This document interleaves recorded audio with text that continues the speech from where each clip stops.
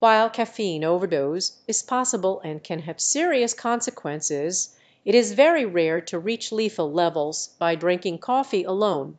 Most adult healthy individuals can safely consume up to 400 milligrams of caffeine, which is roughly equivalent to four cups of coffee per day.